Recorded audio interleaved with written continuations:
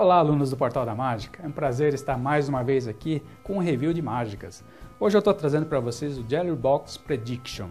É, por que, que eu estou trazendo para vocês esse número? Esse é um efeito que eu vi na Murphy's, que é um dos meus fornecedores nos Estados Unidos, e particularmente achei assim o, o equipamento, né, o produto muito bonito, tá? que se trata de uma caixa de joias. Eu vou até mostrar para vocês aqui. Então, esse visual eu achei muito bonito quando eu vi o, o produto, né? quando eles lançaram lá na, no site deles. E lendo a descrição, eu vi que era um produto muito fácil de fazer, né? É, com 100% de chances de, de, acerto. Então, eu trouxe para o Brasil né? para deleitar para os mágicos brasileiros aqui poderem usar nos seus shows de close-up.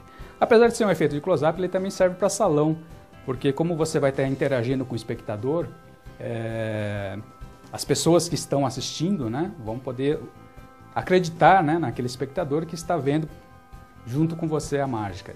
Tá? Como é que funciona o efeito? O efeito você mostra para a plateia que tem uma caixa de joias, né, com várias cores de diamantes, né, vamos supor coloridos, verde, vermelho, amarelo, branco, roxo e azul. Tá? O mágico mostra então aqui que tem vários papéis com as mesmas cores, vermelho, azul, roxo, amarelo, branco e o verde. Né? Todas as seis cores. E o mágico diz então que vai fazer uma predição. Né? Então eu vou escolher uma cor aqui. Deixa eu ver, essa daqui. Guardo o restante e peço para o espectador escolher mentalmente uma cor qualquer. Eu vou dobrar aqui a minha predição. Vou colocar esse pequeno clipe aqui. Tá? E olha só, aqui, do lado de cá embaixo, eu tenho uma gavetinha. Tá? Onde eu vou colocar a minha predição aqui. E aí então eu peço para o espectador é, escolher livremente uma cor qualquer. Tá? Não é nada combinado, você pode pegar qualquer pessoa da plateia. E aí para simular aqui, é, César, que cor que você gosta aqui? O verde, o vermelho, o branco, o amarelo, o azul ou o roxo? O azul. O azul? Quer mudar? Certeza? Olha só, isso o próprio espectador vai tirar para comprovar a cor que ele escolheu tá? e vai deixar aqui. E aí o mágico fala, olha, Lembra que eu coloquei um papel aqui dentro, que é minha predição? Vou abrir aqui, olha só. Apenas um papel aqui dentro.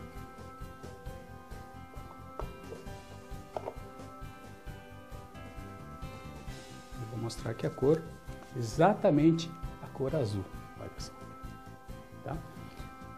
E isso, por incrível que pareça, funciona 100% das vezes. Tá? E o melhor de tudo, ele é muito fácil de executar. Qualquer pessoa pode fazer isso. Tá? É, e o que eu achei interessante nessa, nesse número de, de mentalismo é que é, aqui eu estou interagindo, eu estou pegando a pecinha, estou abrindo a gaveta, tá? mas na hora de fazer a mágica, o próprio espectador pode fazer tudo isso que eu fiz. Ou seja, o mágico, uma vez que pegou, colocou a predição na caixinha, ele não toca mais na caixa. Tá? O próprio espectador vai, escolhe a cor que ele quiser, ele mesmo vai lá, abre a gavetinha, retira o papel e comprova que a, a predição do mágico está 100% correta.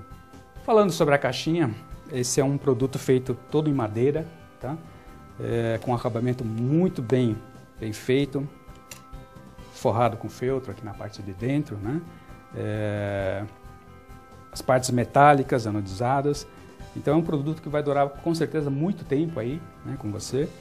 E como ele é um produto bonito, é, você pode até criar um texto em cima da mágica. Tá? É, cria uma, uma, uma história sobre, o, sobre a mágica que você está apresentando. Pode falar, sei lá, que é uma caixa de joia antiga, pertenceu ao seu avô, alguma coisa do gênero. Tá? E aí você vai cativando as pessoas com a historinha, envolvendo elas né, na, na mágica, para depois dar o bom final, que é a predição estar 100% correta. Tá? É um produto que é muito fácil de executar, mas assim, se você não criar é, aquela expectativa né, na, na, na, mágica, ela não vai causar tanto efeito como esse produto realmente pode produzir. tá? Ou simplesmente você chegar e falar, vou fazer uma predição, tá aqui, escolheu, tal, abriu, já, né? já está ali a predição. O ideal é você criar um clima em cima disso para chegar no final, né, a plateia estar lá ansiosa para ver realmente se a predição está 100% correta. Treine bastante, com certeza você vai fazer muito sucesso com esse número de mágica. Espero que vocês tenham gostado desse review. Tá? É, comentem aqui embaixo se você gostou, se você comprou, se você está gostando, se você está usando nos seus shows, porque isso é importante para a gente poder fazer mais novos reviews aí pela frente. Grande abraço e até a próxima.